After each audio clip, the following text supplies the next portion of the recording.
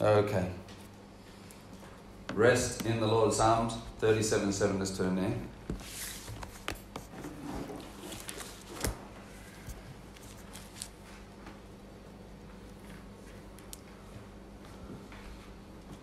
Verse 7 Rest in the Lord and wait patiently for Him. I don't know about you, but that's um, probably one of the most um, blessed and also annoying scriptures. Because trusting in the Lord and um, resting in Him all sounds wonderful, but wait patiently. Well, we'll be patient, Lord, but we don't want to wait. They, they, they got to go together. Let go back up there. Um, waiting patiently doesn't necessarily just means oh okay nothing to do just sit there it doesn't mean that it can be very active actually or it can be sitting it's it's it's uh, waiting on somebody and in this case is waiting on god for the directions and it just may be look you need to have a season of resting it might might be you need to go and play cards and just relax and get yourself off your mind for a while don't be so um, stiff it may be you need to go to Canberra and honk your horn. may need you, it may mean you need to be not so lazy and get out and work. If you've got no money, you're broke, work more, get another job or something. It could mean anything. Because we're not the ones working it out. We're the ones waiting and He's giving the instruction. It's waiting on Him for the direction. And there's so many gifts, there's so many callings, is that we can't work out God. We can just get to fathom part of his nature by looking at all of his creation. If you look at the human race, if you look at all the races, all the personalities, all the different people, all the gifts, callings, um, you'll start to see the character of the nature of God so multifaceted. But if you try to follow any, if you try to be like any, you're going to trip up because you'll, you'll lose your own calling and destiny. You can, you can learn from everybody, but you can't be anybody. You can only be you.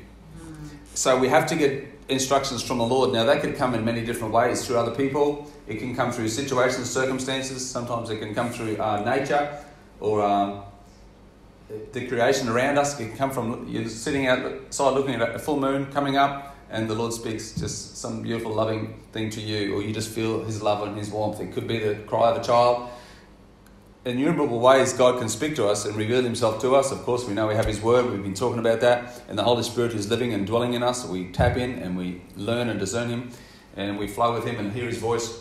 But God is not limited, and God is way, way beyond the bounds of our own restrictive thinking. We have to break out of that and let God be God. Amen? And the Holy Spirit, when He was moving through, oh, it, it was through oh, I can't remember which country, Europe, somewhere over there. Uh, the Holy Spirit in the time of revival, Hebrides revival. Where was that from? Anyone remember? Remember? Which one? Hebrides. Heb- Hebrides? Anyway, he was called the wild goose. The Holy Spirit was so wild. And goose just get up there, honk, honk, honk. You ever seen the goose flying? And the lead honks and all the ones honk behind and cheer him on. And when, then the, when the front one almost loses his honk, honk, he flies to the back and comes in behind, gets in the the jet stream, and the front one honks the loudest. And they all honk behind and encourage the front one. Honkers. Hmm. And the Holy Spirit was named in that revival because he was, he was so wild, you never knew what he was going to do. And he was so exciting and so thrilling, you'd wait on God and he would just show up in different ways that they called him a wild goose. He was noisy, he was passionate, and he just rose up in people and they just, you just, um, you can't frame God. We've got to stop trying to frame God. But we all have. And it's just part of the unrenewed mind. But as you get your mind renewed by the Spirit of God, as you tap in, as you start to get open minded through humility, pride will just cut you off from anything. Trying to, you know, you just got to humble yourself and recognize God, your God, and just wait on Him and, and expect anything. Some people have been so passionately hungry in love with God, they sneak off in the night and go into the ocean and stand out there with the water up to their neck and just worship God all night. Some have been known to do it in time past in freezing waters, and it's been a sign of wonder. Others, because they, they don't they want to be left alone with God. They go out into the deep and they just worship God and wait on Him in the freezing. Humanly impossible. They'd freeze out there. One of the revivalists, I think it was Finney, hit up a log in the bush just to be alone with the Creator. I mean, I don't think I'd enjoy that much with the termites in there. Know, what else is going to come in here at night time? What's that noise? different things for different folks, right? I like to walk on the road and not out in the bush because I might get a, a tick, but I'll stay on the road and I'll walk on the edge. You know, I'm a road hiker. and if it's a bush walk, I like it to be fairly, you know, fairly walked so that, um, you know, there's less chance of getting all those little nasties. But some people, it's something totally different. They've got to get way out there where no one is. For some, they, they hear from God in the midst of crowds. For some, it's on the beach. For some, it's out in the water. For some, it's on the mountaintop. For some, it's in the valley. For some, it's on the lake. For some, it's in their house. For some, it's out with the birds. For some, it's just looking, getting amongst the flowers and smelling. L- listen, God is so great. He's so awesome that you can find the Creator wherever you are in your situation as you purpose in your heart to start waiting on Him, He's going to show up. Because you've been sent to the earth in love. You've been sent with a purpose and with a calling and with a destiny. And it's no mistake you're here now. And it's no mistake you've had the life you've had um, to bring you to this place. And for some, it's, you know, change course. You've maybe got off on course or the enemy's tried to take you out. But God can fix it. God can fix anything. Hallelujah. It's God we're talking about. So rest in the Lord, wait patiently for Him. Patient is consistently wait. It doesn't necessarily mean a long time, even though it can be. Like, okay, so we know that was it was it January sixth year before this one, which is like um, just over a year, a month, like it's thirty months or something. We saw the big um, the big the big lie in America, right? So many got very discouraged. Me one at that time my discouragement only lasted like a, maybe a few hours or a day or two because I just, um, you stay close to God, you can't stay discouraged for long. But for some, it almost ruined them. And for some to this day, they, they gave up. They're not bad people, it just hit them that hard. And others are saying, How long, Lord, how long? Everyone saw what happened. Most. Some are in denial. But most deep down know it was a takeover. When is when are you going to do the when are you going to bring justice, Lord?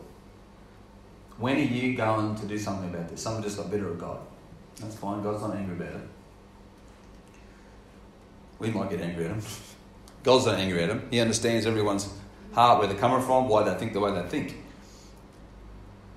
There are many that know full well what they're doing, that did the takeover, and are happy about it. And um, don't worry, God will fix them. But through this whole period, it's been a time to awaken, time to position, time to wait on God, time to find your true self, true purpose. And it's not too late, there's still time because there's still the season of it. But it's going to come to an end soon. Lord told me just recently, it's, I, was, I know that there's time of reaping, there's, there's a time of a harvest of souls. But before that, there'll come a time of reaping of money. The great financial um, ingathering will come, and these globalists that have held the money and kept people in bondage and suppress the poor is going to be uh, flipped over. It's going to come to us. So we know that time's coming. But there's, there's um, lost my train of thought. There's a time coming, but we know that um, how long, how long, Lord? We have to still go through the motions because there needs people still waking up, and there's still things that need setting up in place. But God's mainly working in people even though it looks outward, because we tend to, in this world, we tend to look outwardly, but he's working in people. That's why we're starting to see the outward change starting to happen. And where did these masses of people come from? How did they organise this? They didn't organise it. Oh, they might have had people trying to organise things, but look, uh, you can't do that. You can't organise a 160 mile, what's that in K's? 200k long, um, bumper to bumper truck. 270. It's grown. Mm. Mm, How can you do that? Mm. That can't be done. In the snow, too. And everyone's out in the snow cheering them, on the bridge cheering them, in the cold, in the snow. Should be freezing, but they're not, they're happy. No man can organise this, even if you've got a committee. That Even the committee would be anointed. You just can't do that. See? So the outward is starting to display what God's been doing. He's been working in us. He's been doing a great work these last 12, 13 months. He's been doing an awesome work. But when it flips, it could be sudden. Many think it could happen in a day. And of course, the mess could take years to clean up. Now, there's going to be change happening for decades and prosperity. This whole world's going to be just changed and transformed. But a, a day where the whole world may see what's going on, what's happened, and, and it'll be flipped. But that's just a that's just a theory. That's just what I'm thinking. It's, something's going to happen really fast, really uh, suddenly. But that's still up to the Lord, isn't it? We just rest in the Lord and wait patiently for Him. Do not fret because of him who prospers in his way. We've been stolen and robbed from. You know, I work and I've got a good income, but I, I've got to pay 47% tax. I don't complain about it. I want a good attitude. But I know that they're stealing from me. It's not right. You maybe they're 5 10% or something to help them out is more than enough. But they put, they've put billions into underground cities, underground tunnels nefarious networking across the nations, between nations, underneath the oceans. You would be surprised where billions and billions and trillions of our money has gone. Even the killing of innocent babies, even evil research for the um, wicked agendas. It's all going to be fixed. Hallelujah. The reports out are out. It's leaking. Bits leak out because people just get too excited, they can't hold it in any longer. It leaks out. There's leaks that tens of thousands of children have been rescued through this period. Hmm. Tens of thousands of them. Hallelujah. The news media put on there about a child that gets lost somewhere, and it could be. And it takes it takes all the news media sites and, and draws the attention of everyone for a week or two. There are thousands lost. See, the media is a smokescreen. But the media, when it's taken over, the truth will come out, which may seem to some at the moment a lie, but more and more awakening to it. And when it does flip over, it won't be accepted by everybody, but eventually, eventually they will, because um, it'll just it'll just um, have the same effect. It'll eventually reprogram, just like the programming has taken place by the evil ones. The reprogramming will happen by the Lord. It could take some time. So the flipping may be instant, but the reprogramming could take it could take an actual a whole generation. So we've got to be patient. Amen? And you've got to be patient with yourself too. It's a process, it's a learning process. Wait patiently for him. Do not fret because of him who prospers in his way, because of the man who brings wicked schemes to pass. Cease from anger, forsake wrath. See, you're saying, don't worry about all that now. Work on yourself. Deal with all these attitudes now. Don't fret. It only causes harm to who? To you. And you get all worried and stressed out. Oh, I've got a piece of their mind. I'll wring their neck. Well, okay. We don't like the wring their neck, but you get yourself worked up. And you're going to get stressed out and give yourself cramps or whatever, stomach ulcers. For evildoers shall be cut off, but those who wait on the Lord, Lord, they shall inherit the earth. Hallelujah. For yet a little while, and the wicked shall be no more. Indeed, you will look diligently for his place, but it shall be no more. There's coming a time soon where you won't be able to find the wicked. Where are they? Where have they all gone? They've vanished. They've been taken away. Amen? They've been taken away. You know? So much going on out there. You know, I know so little. I, I, know most of what I know by the Holy Spirit, otherwise, I know nothing because I don't even look anymore. I mean, I've seen it all. Someone comes with some more news, and I think, oh, that's the same as six months back, just different twist. Um, no, I appreciate it. Someone called to it, but you know, I'll, I'll just keep waiting on the Lord and uh, do it in a certain way that God has for me to do it. Mm. But I always hear, always seem to know what's going on anyway, because someone tells me or God will show me something. We have to find our place. And for many, it's, it's in Canberra. So we're going to cheer them on, amen? But because of guilt, don't think you need to be there. If you're prompted and led by the Spirit of God, get down there. If you're not just because you feel as though, well, I'm not doing my part and I'm just a lazy one. No, no, no. Do your part here. You know? Your part might be up a log in the bush during this period. Not, my, not me. I'm just saying that just to, just to open your minds up, that's all. Is let's be open minded. Let's not be condemned. Because remember, many of these people are desperate. There's nothing left for them. In their mind, for some of them, life's finished. If we don't win this now, if we don't do it, we do something, not realizing the Spirit of God breathing it and pushing it along. But to many, this is this is life and death now. You know. To some, if we don't win this, we we're finished. But they're not finished. Hallelujah. Psalm 21. Don't you love the Psalms? Hallelujah. Psalm 23, uh, 21 6. You anoint my head with oil, my cup runs over. Surely goodness and mercy shall follow me all the days of my life. We've got to get that hope built up in us again. Hey, don't worry about it. God's goodness and mercy is there trailing along. You know, we've got this. We're going, we're going to win. We're not just going to win, we're going to really win. He makes me to lie down in green pastures. He leads me beside the still waters, verse 2. Um, waiting upon the Lord is going to put you in a position where God is really getting involved. I'm just flitting around Psalm 23. oh, did I? Oh, yeah. Oh, 21, verse 6. Let's go back to that one then. For you have made him most blessed forever. You have made him exceedingly glad with your presence. In the presence of Lord's fullness of joy. I think it was another translation there. I need to read that. Psalm 21, verse 6. Let's have a look.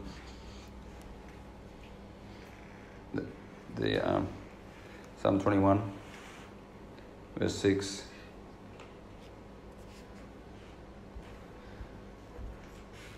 Now, the message says you pile blessings on him you make him glad when you smile. Imagine getting buried under the blessings of God and you can barely breathe. God, you cut back on these blessings a bit? That's actually the richness of God. Um, New Living says, You've given him the joy of your presence. The Passion said, What joy and bliss. He tastes rejoicing before your face. See, your victory heaps blessing after blessing upon him the Lord's victory is going to heap so many blessings on us that all that has been lost will be restored. The restoration of all things is at hand. That's why we've been encouraging people, please don't you know, quit. You know, if someone puts you off in your job or something, well, it's not right, it might not be just, but you know, let that happen rather than leave yourself of your own will because then there's no, um, there's no recoil. You can't say, oh, well, I was unjustly put off. But if you're put off, there will be repayment. God's going to repay. If it's not that way, it'll be in some way. And the blessings will, will be heaped upon us so much. And, um, you know, like Melina's studying law, there, there's, um, there's juries going everywhere. And, and when payment comes, when payday comes, it's going to come, isn't it? Yeah. And they were rejoicing, but also um, weeping. So what can we do while all this is going on? Do our part if you're called to that, like Melina's studying. And thank God, you know, God's raising up people all around the world with a heart for justice. But that should be in every person's heart as a believer, for justice. True justice. True justice, that's right. Not worldly justice. And but to get it right, to hone it in, we need to dive into the Word of God. We need to get the right attitude and trust that God will do it and He'll guide and He'll use the gifts in the judges, in the lawyers, all the people that are looking into these things will have the true gift of discernment and the heart of compassion as well. God, all God's justices are with compassion. When the hammer falls, it will also be with compassion, but the wicked will be shivering in their shoes uh, because the, the verdict, when they come, it's final. And there's no running. There's also a lot of leaked reports getting out that many that haven't been seen for some time are already gone, they've already been wiped away. We've just got to wait for the Lord. All will be made known in time. Hallelujah. We trust in the Lord. He's the one to be to be feared. He's the living God, the creator God. And we love him so. And we trust the Lord with all our heart. And we lean not to our own understanding. But in all our ways we acknowledge him. Just acknowledge God. Just just know he's involved. And he will direct our pathways. He'll direct the pathways. Amen. He'll lead and guide us. If you've if you've been down some wrong paths, let's not be condemned or self-condemned. The devil will, will help you. If you get condemned, he will really make you condemned. Let's just say, Lord, okay, Lord, uh, okay, I need to get back on the right path and just get the forgiveness, just get washed in the blood of Jesus and just start waiting on him. He'll just take you, he'll just take you from right where you are. He'll take you back to that place. If you've gotten behind, he has the way of transporting you to that place where you should be quickly. You know, man's mind means, oh, you better pay penance and you better suffer for another year or two because of all the dirty things. No, no, God will say, right, you cleaned up. I'll whisk you to where you should be and we'll go on from where you would have been if you had obeyed there. See the mercy? See? All God wants is victory here. He just wants victory. And He wants us to be positioned. We've been sent to the earth for a purpose. Not, we haven't been sent here to fail, we've been sent here to win. Amen? And God's raising up winners. Hallelujah. You know? And um, like just even in my workplace. You know? Why am I a pastor and working? I'm happy to be because the Lord has, has told me. But in the early days, I felt good about it until someone condemned me that um, well, you mustn't be a real pastor. And then, then that was bad enough because I'm working. And then number two is uh, how many are in your church? Oh, oh well, you're just one of those you pretend ones. You got to be one or the other. You just can't work and be one and one. Well, Paul, well, Paul did. That was said to you. Yeah, oh, many things been said over the years. And thought, you sometimes feel the thoughts more than anything. I don't, I'm not bothered by it. But I had to learn through all those experiences. And one day God broke through all of it all when I was trying to find my place. And he said, You can't compare yourself to any other pastor in the whole world. You can learn from them all because they've all got similarities because they're pastors, they're going to shepherd people or situations or families or even, even people what we call the shepherd nations. Apparently, there's two getting raised up in Australia husband and wife team that are going to have a mother and father spirit to bring healing to the land. Just a couple, just two. Yeah? And prophets have been saying it. Wouldn't that be amazing? I mean, imagine if it was us. It's not. I'm just saying, imagine that. Dear God, I'm thinking, Jesus, you better do a start, hurry up and do a quick work here. But now God's been working on a couple. He knows who they are, and they're going to come forth, and God's going to do some amazing things, and they'll be they'll be like like um, like parents. Hallelujah! Praise God. It's just it's just amazing what God is doing, what He's up to, and the Lord had to break through and say that to me.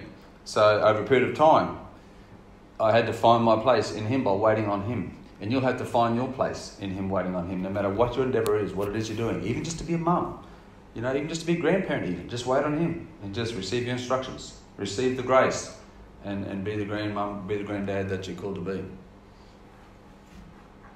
You know, one day our grandchildren are going to have children, then we're going to have to learn how to be a great grandparent. Know, it seems to be a bit of a crash course now, just being a grandparent. Yeah. And then there's more. And then when the great great come, then there's a, then there's a whole tribe starting to gather. How on earth we're supposed to? Grace will be there for every season. Amen. Can you imagine if you felt the calling? And I'm sure this couple uh, sensed something, but uh, they probably don't know the magnitude. But the nation will look up to them. Yeah. I just feel so excited about it. Because this world is, is suffering with, with not enough parents not enough true mothers and fathers that are just strong and good, good morals. I think President Trump is one. And Melania. Many looked up to them, you know.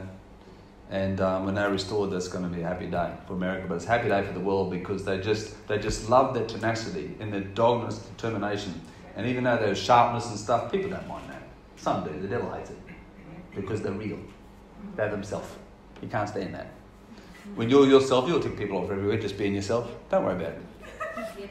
Because if you're yourself, there's no one else like you, see. But if you conform to everyone else, well, they'll fit in like a chameleon. But you just start just being happy in who you are and just. Some will get angry just at your happiness. I don't know why. It's really weird. You can be too happy. Folks will get offended at your joy. You're too free. What do you love now? Anyway, dive into the Word of God. Rest in the Lord, wait patiently for Him. He will handle the wicked, He'll deal with them, and He'll set you up, and we'll have the victory in the mighty name of Jesus.